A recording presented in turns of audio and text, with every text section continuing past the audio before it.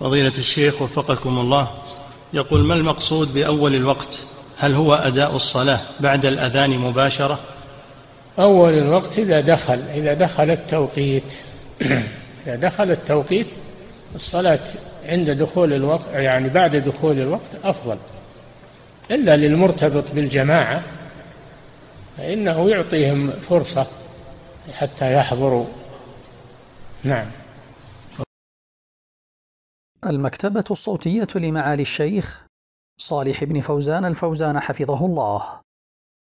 فتاوى شرح كتاب العمدة في الفقه للإمام ابن قدامة المقدسي الحنبلي رحمه الله.